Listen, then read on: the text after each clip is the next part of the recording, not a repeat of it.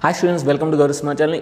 Uh, today we are going to discuss about Grand Test 7 solutions. So, so many students are asking, so, so many doubts because they are in this concept uh, a vast knowledge is there. So, uh, today we are going to discuss these solutions.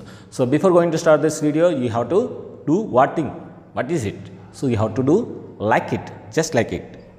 So, if two lines are intersecting lines, then we know very well a1 by a2 not equal to b1 by b2. So, by cross multiplication, you will get b2 a1 not equal to a2 b1. So, that is the fourth option. So, very logically have given.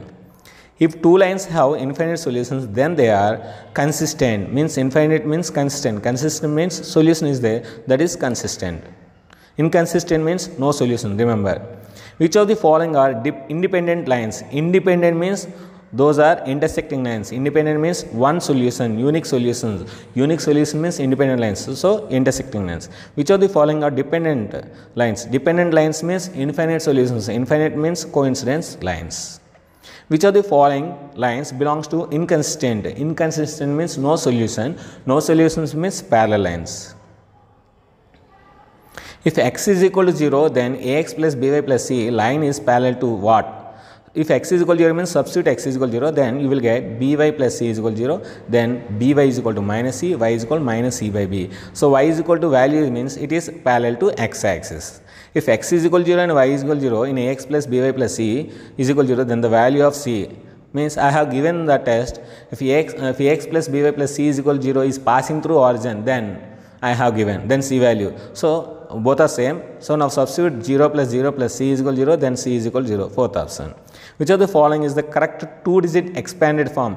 2 digit means if I take xy is a 2 digit, y is units place and x is a tens place. So, they are asking expanded form means 10x plus y because x is in tens position, tens place. That's what 10x plus y. This type of problems are there in a pair of linear equations.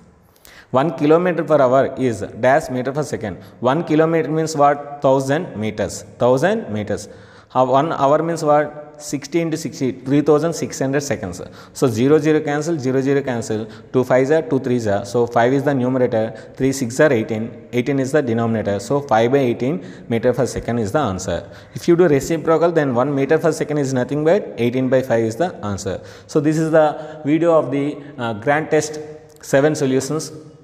So, so sorry 6 solutions. So uh, sorry 7 solutions. If you like this video you can like it. If you want to share it you can share it. If you want to make your friends subscribe our channel subscribe. And uh, if you want to do it uh, your friends joining in our groups make them to join. Thank you very much for watching my video